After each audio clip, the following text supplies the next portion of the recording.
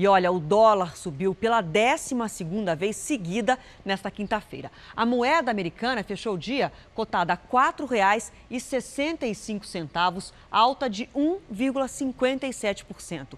É o mais alto valor nominal até agora. E o índice da Bolsa de Valores, a Ibovespa, caiu 4,65%, chegando a 102.233 pontos. A queda refletiu o movimento dos mercados externos preocupados com os efeitos do coronavírus sobre a economia mundial.